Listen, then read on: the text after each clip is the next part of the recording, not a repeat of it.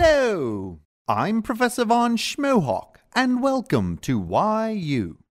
In the last lecture, we saw how linear equations can be applied to real-world applications. These equations express mathematical relationships between numeric quantities.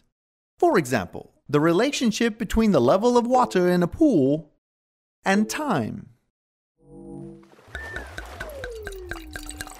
Many real-world quantities can be calculated using formulas which relate two or more quantities. For example, we can calculate the perimeter of a rectangle by adding twice its length to twice its width. This formula relates three quantities, perimeter, length, and width. Instead of using words to represent these quantities, we can write this more compactly using letters like P, L, and W. Formulas for calculating the value of one unknown quantity from one or more other quantities whose values are known are sometimes called literal equations. The word literal refers to the fact that when calculating the unknown quantity, variables in the formula are replaced by the actual or literal values corresponding to a specific case of the relationship. Literal equations can involve more than three variables.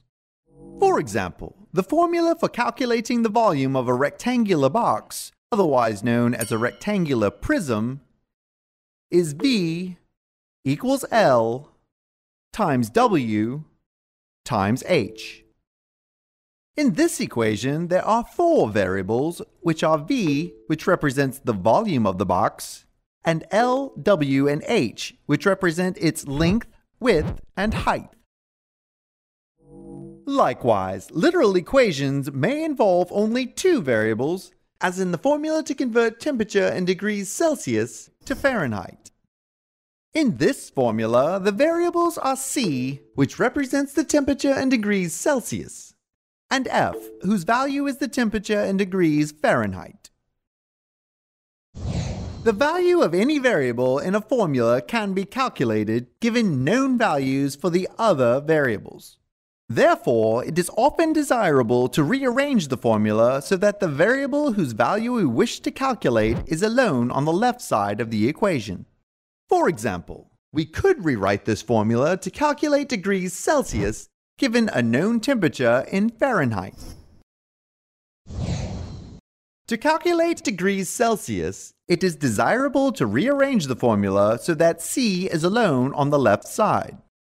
The first step is to isolate the term containing C on one side of the equation by moving all the terms which do not contain C to the other side. Subtracting 32 from both sides of the equation allows us to eliminate the 32 on the right side. We say that the terms 32 and negative 32 cancel, since together they equal 0. Eliminating these terms on the right accomplishes our goal of isolating the term containing c. Since we want to end up with the variable c alone on one side, we must also eliminate the 9 fifths multiplier. We can do this by multiplying both sides of the equation by the reciprocal of 9 fifths, which is 5 ninths. Since anything times its reciprocal is 1, 5 ninths times 9 fifths can be replaced by 1, and 1 times c is just c. Swapping the two sides of the equation, we now have a formula which calculates the value in degrees Celsius for a temperature given in degrees Fahrenheit.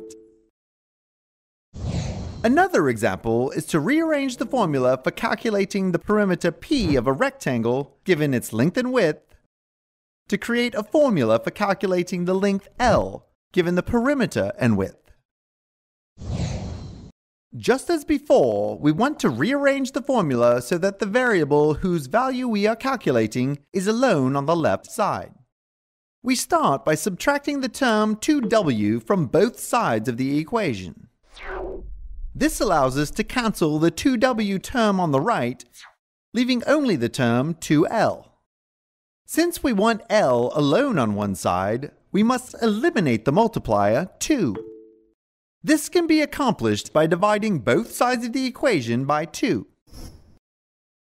Since identical factors in the numerator and denominator of a fraction can be cancelled, we can cancel the 2's in the top and bottom of the fraction on the right, leaving only L.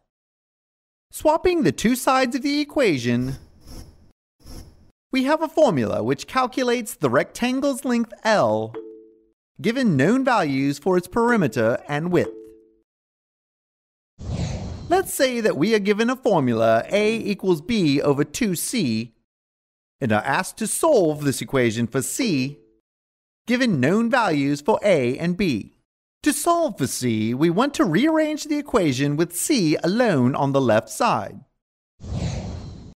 To rearrange the equation so that C is alone on the left, we must first move C out from the denominator of the fraction. We can do this by multiplying both sides of the equation by C. Multiplying the fraction on the right by C is the same as multiplying the fraction's numerator by C. We can then cancel the c's in the numerator and denominator. We must now eliminate the variable a on the left so that we end up with c alone on the left side. To do this, we divide both sides of the equation by a. The a's in the numerator and denominator on the left then cancel, leaving c alone on the left. We can simplify the complex fraction on the right, since dividing the fraction b over 2 in the numerator by a is the same as multiplying b over 2 by the reciprocal of a, which is 1 over a. Multiplying the numerators and denominators of the two fractions gives us b over 2a. Since this equation now contains the variable c alone on the left side, we have solved the equation for c. As another example, let's start with a similar equation, except with an additional term on the right side, and solve for the variable a. To rearrange the equation so that a is alone on the left side, we start by subtracting the term 5d from both sides of the equation, which allows us to cancel the 5d term on the right. Since we want the variable a alone on the left, we need to move a out from the denominator of the fraction on the right. To do this, we multiply both sides of the equation by a. Just as in the previous example, multiplying this fraction by a is the same as multiplying its numerator by a. We can then cancel the a's in the numerator and denominator. We must now eliminate the terms in parentheses so that the variable a is alone on the left side. Dividing both sides of the equation by the terms in parentheses,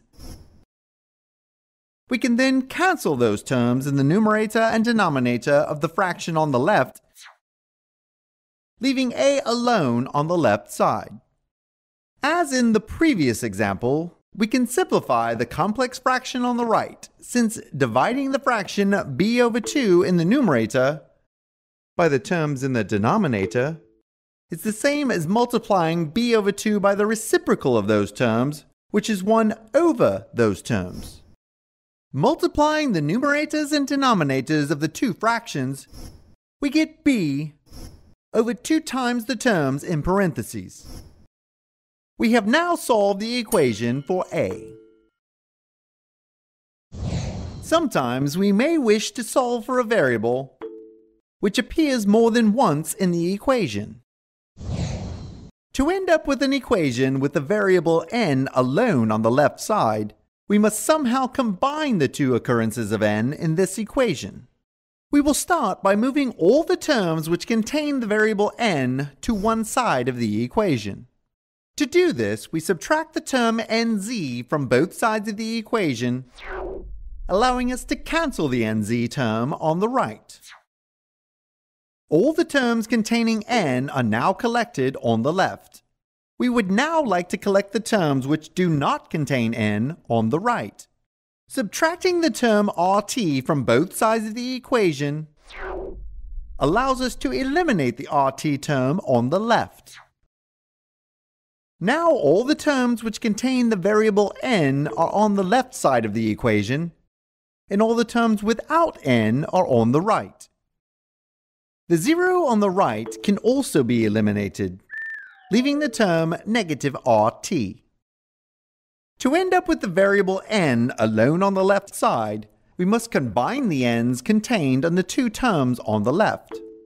This can be accomplished by placing the two terms in parentheses and then using the distributive property to bring the common factor n outside the parentheses.